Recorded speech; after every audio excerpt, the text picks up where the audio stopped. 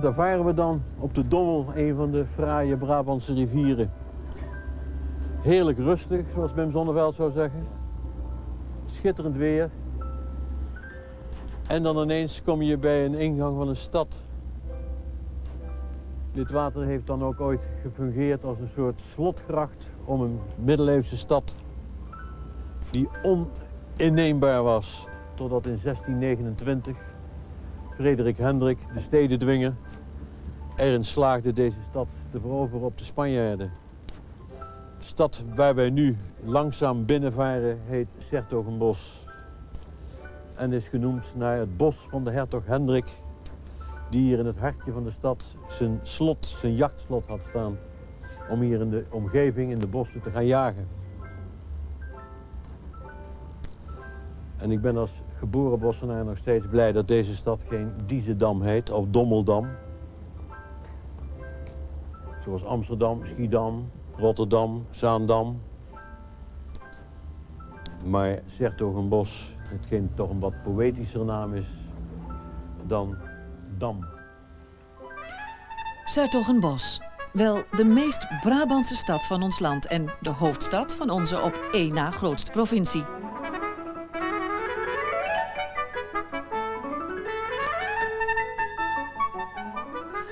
Den Bosch wordt omringd door een vijftal andere grote stedelijke concentraties. Rondom de historische binnenstad, het hart van de vroegere vesting, hebben zich in de loop der eeuwen steeds weer nieuwe woonwijken gevormd. Tegenwoordig trekken vooral de uitbreidingen aan de noordzijde tegen het Maasdal aan de aandacht. Daar wordt onder meer het stadsdeel met de toepasselijke naam Maaspoort gebouwd. Het beeld van de binnenstad wordt beheerst door de Sint-Jan, een kathedraal... waaromheen zich een groot deel van de stedelijke geschiedenis heeft afgespeeld.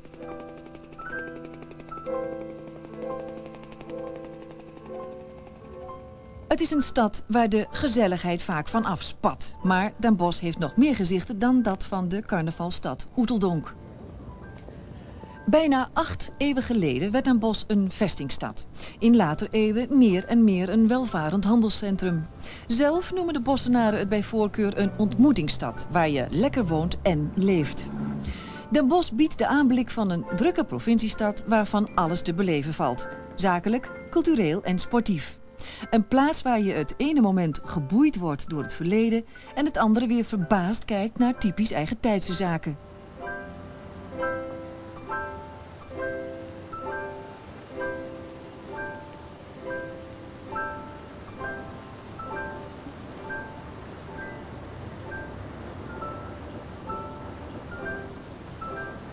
Het valt op dat Den Bosch, ondanks haar sterke banden met dat verleden, experimenten niet schuwt.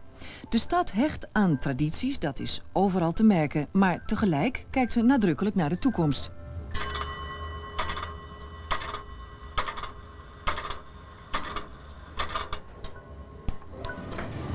En Den Bosch komt er maar al te graag voor uit dat het de zetel is van het provinciaal bestuur, de rechtspraak en de bisschop. Tot de oude tradities van Den Bosch behoort die van de Zwanenbroeders, een van de oudste verenigingen in ons land. Ook koningin Beatrix is lid van dit illustere genootschap.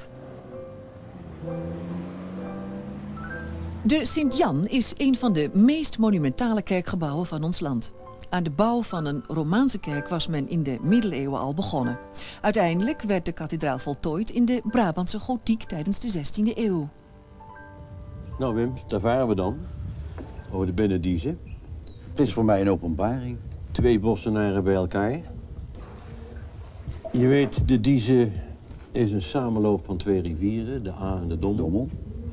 De een komt uit de Peel, de ander uit België. Die komen hier bij elkaar en hebben daar eeuwen geleden een zandplaat gevormd.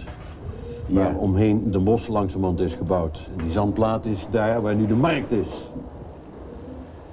Op die zandplaat gingen mensen wonen. En jaren later heeft hertog Hendrik daar zijn jachtslot gebouwd. Vandaar de naam Sertogenbos, want de hertog ging jagen in het bos.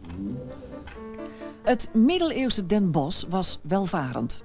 In de 15e eeuw beleefde de stad haar hoogste bloei door de handel en een intensief ontwikkeld gildewezen. Den Bosch heeft zich dan ook herhaaldelijk moeten wapenen tegen vele vijanden die het op haar rijkdom hadden voorzien.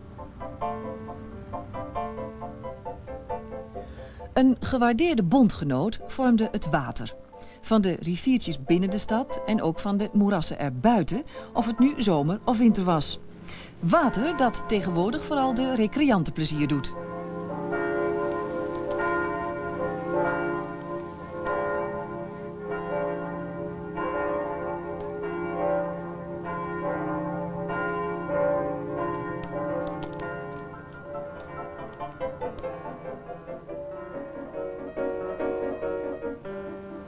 Je zou kunnen zeggen dat het water een goede vriend van de stad is geworden.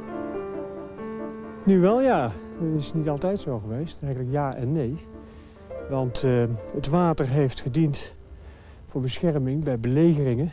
Daar lag de stad midden in het water als moerasdraak, als u bekend.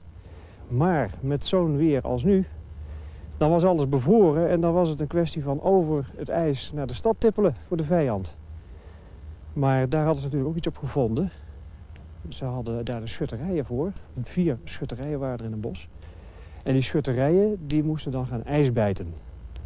Met pikhouwelen, met zagen en met stokken. En dan kregen ze ieder een kwart van de grachten rondom de stad toegewezen. En dan moest alles opengehouden worden.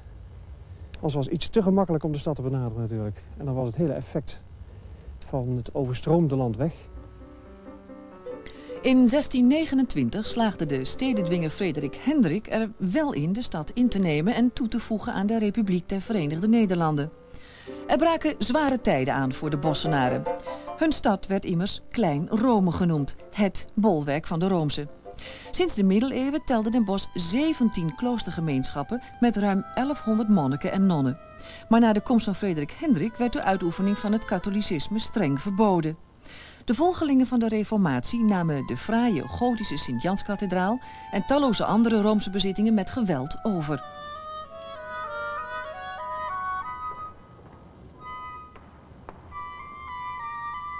Nog altijd herinneren de Mariakapel en het Mirakelboek aan het feit dat de Sint-Jan vanaf de 14e eeuw een ware bedevaartplaats is geweest. Tot de komst van de Fransen aan het eind van de 18e eeuw zouden de katholieken hun geloof in het geheim moeten beleiden.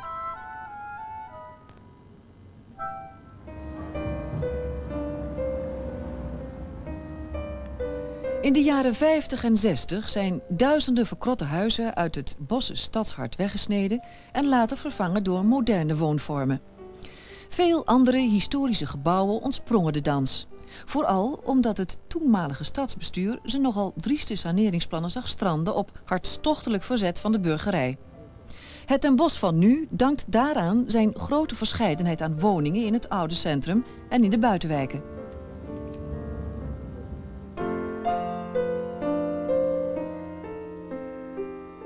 Dit is allemaal gerestaureerd in de jaren 70, 80. Want in eind van de jaren 1960 had de gemeente besloten die hele binnendiezen te dempen. ja.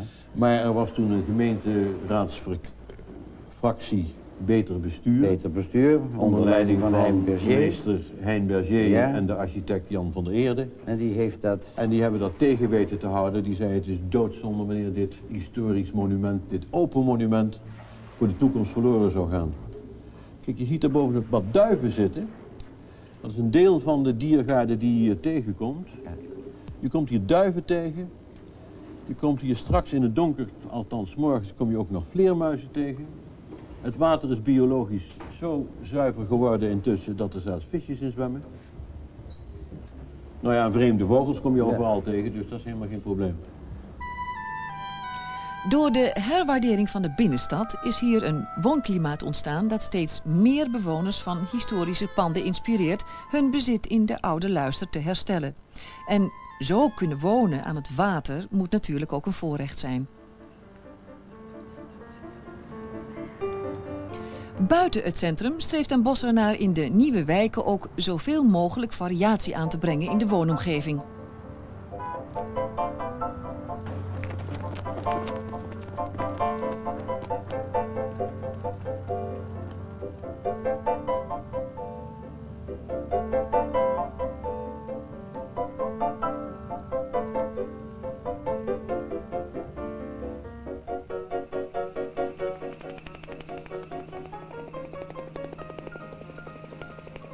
De uitdaging van nieuwe ideeën gaat men niet uit de weg. Dat leidt soms tot heel ongewone resultaten.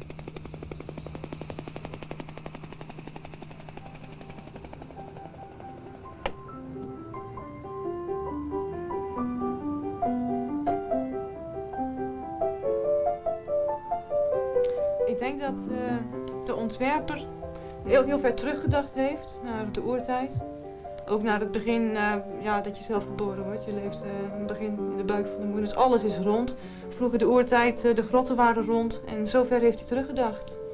En hij vond het heel natuurlijk om in een ronde omgeving te leven. Het is knus, het staat op zichzelf. Je hebt geen vaste buren. En het zag er heel gezellig uit. Ik woon hier nu ruim twee jaar. En in die twee jaar ben ik twee keer in een andere bol binnen geweest. En je ziet eigenlijk elkaar helemaal niet. Ja, ik denk juist omdat alles los van elkaar staat. Je bent niet echt naast de buren. Dus je hebt ook niet uh, één iemand waar je kennis moet gaan maken of zo. En dan laat je het er maar bij zitten. Ieder leeft hier zijn eigen leven zo'n beetje. De trappen vond ik een nadeel. Heel veel trappen. En de slaapkamer is ook niet al te makkelijk.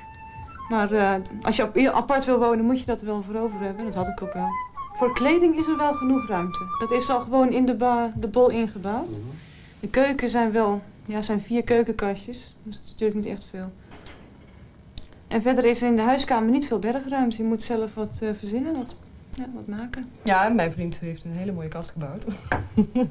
zelf een ontwerp gemaakt. En uh, precies op de spullen die wij hadden. En precies naar dat muurtje ook gebouwd. Ik had een piano. Ja. En uh, het was een gok of die erin zou kunnen. Ik had gemeten van wel, maar op de plaats waar ik hem gemeten had, kon hij er niet in. Dus we hebben hem anders moeten zetten, met wieltjes eronder. En dan kan ik hem verschuiven. Want anders kan ik niet bij de meterkast, dan kan ik nooit de meters meer opnemen. Maar die moest dus beneden in de paal blijven staan. Het is niet gezellig, maar studeren is toch nooit gezellig. Dus wat dat betreft maakt het niet veel uit.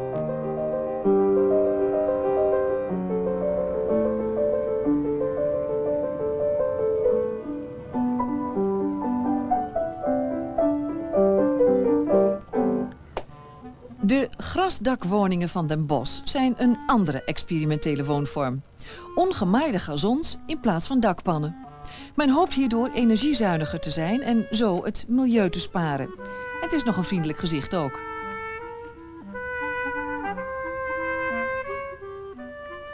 Den Bosch staat er niet slecht voor wat zijn woningbestand aangaat. Het aantal woningen is sinds 1950 sneller gestegen dan het inwonertal dat nu 95.000 zielen telt.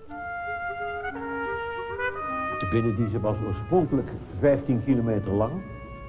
Die is voor een groot deel nog compleet, alleen er zijn hele stukken gedempt. Die zouden eventueel wel opengegooid kunnen worden. Er is in totaal 3,5 kilometer is er gerestaureerd.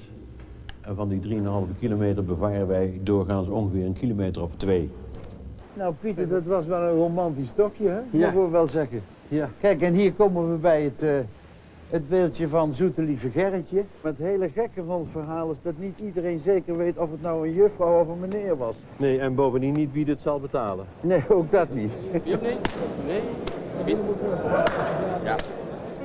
Hier weten ze wel wie er gaat betalen.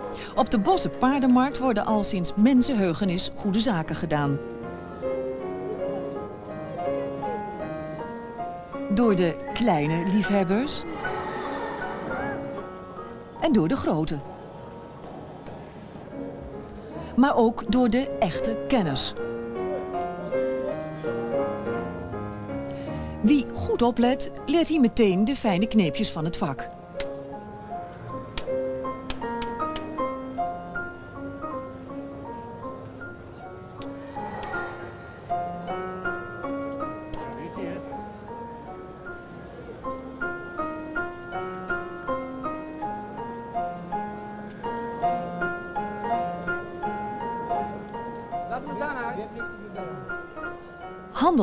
Is altijd een belangrijke drijfveer geweest voor de bosse bevolking.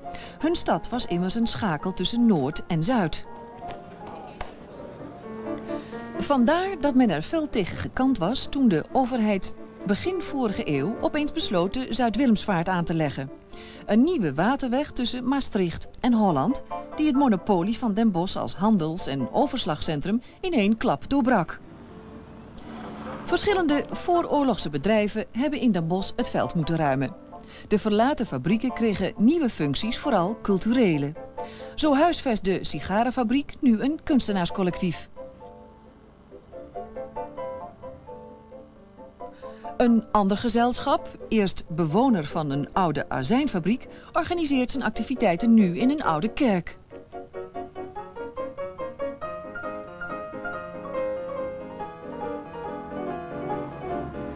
De kunsten hebben in Den Bosch altijd in aanzien gestaan. Niet voor niets werd hier de eerste kunstacademie van ons land gesticht. Dat was al in 1812. Het blijkt ook uit de veelheid aan musea die de stad bezit, waaronder het Kruidhuis, dat een grote collectie hedendaagse kunst huisvest. En het Noord-Brabants Museum met vijf eeuwen schilder- en beeldhouwkunst uit de zuidelijke Nederlanden. Een aparte plaats neemt het museum in dat zich in de Goorstraat bevindt. Het draagt de naam van een uitzonderlijke bosse kunstenaarsfamilie. Drie generaties slager, acht getalenteerde schilders en schilderessen hebben de sfeer van het echte Den Bosch met grote fijnzinnigheid weten te treffen.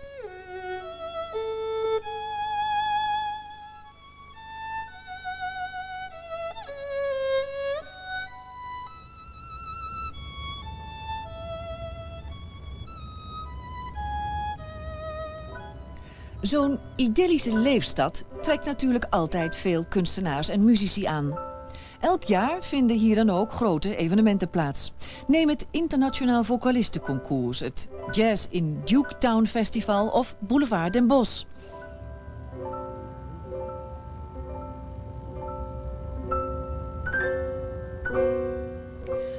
Het lijkt soms of de doorsnee Bossenaar iets meegekregen heeft van de bijzondere sfeer van zijn stad. Tenminste, de Bossenaren zelf zijn daar rotsvast van overtuigd. Morgen. Alsjeblieft. Zo. Hè, Toon. Daar ben, ik, daar ben ik aan toe, jongen, aan een kopje koffie. Lekker hoor, zo'n bakje koffie. Ja. We hebben een eh, tocht gemaakt over de binnendiezen. Ik had dat jaren niet meer gedaan. Je ziet een bos van de andere kant, hè? Ja. En eh, ik wil jou eens eigenlijk vragen, wat behelst nou een bossenaar? Hè? Wat Wat is nou een bossenaar? Geef daar nou eens een definitie van. En een bossenaar, ja, wat zal ik zeggen? Het is een makkelijke mens. Het is een gezellige mens. En een mens die altijd in is voor een geintje. Ja, Kom op. Eh, niet erg gecompliceerd. hij heeft het hart op de tong, hij flapt er van alles uit. En later dan draait hij weer een beetje bij. En dan is weer alles... Hij zal u altijd helpen als het kan, Ja. als het mogelijk is. Dus er zitten eigenlijk weinig negatieve kanten aan. Hè? Weinig, Ja. heel weinig. Dus we kunnen wel zeggen dat we echt als bossenaren tevreden Wij zijn tevreden, in ieder geval ik ben tevreden, dik tevreden met de bos. Ja, nou, daar is de hoofd. Ja.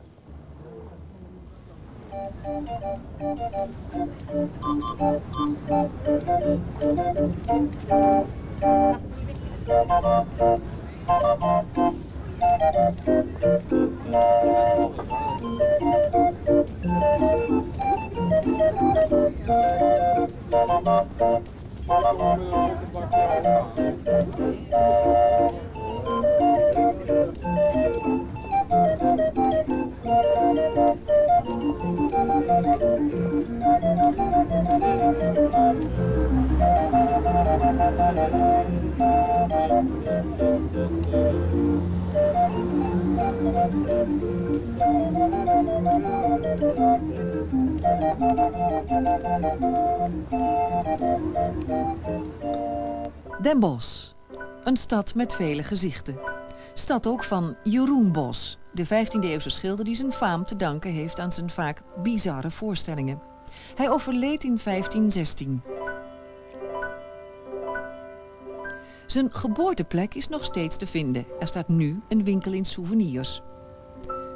De klok staat nu eenmaal niet stil. Ook in Den Bosch niet.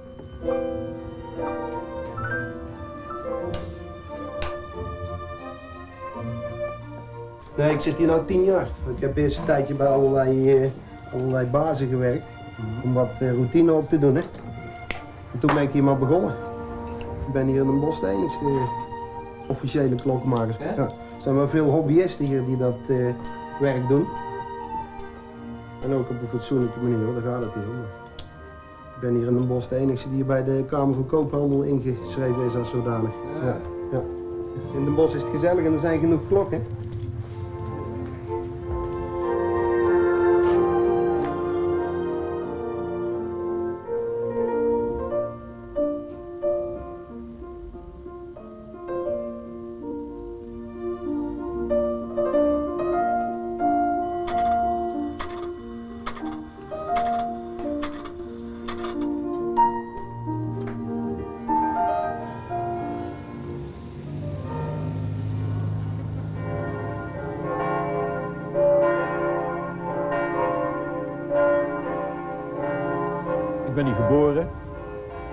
Denk dat ik hier nooit meer weg ga.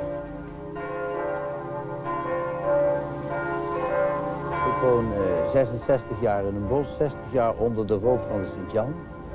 Maar ik voel altijd als ik over de Maas ga dat ik wat minder adem krijg. Als ik terugkom dan voel ik me hier helemaal op zijn plaats.